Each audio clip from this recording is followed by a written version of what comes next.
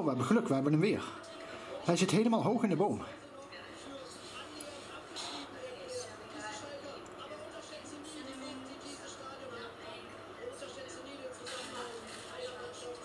Normaal vliegen ze altijd gelijk weg, maar deze blijft behoorlijk lang rondvliegen in die boom daar.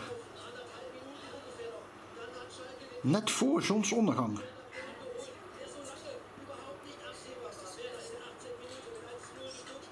Het kan zijn dat ze allemaal nestmateriaal aan het zoeken zijn, want hier wordt ook al alles weggepikt.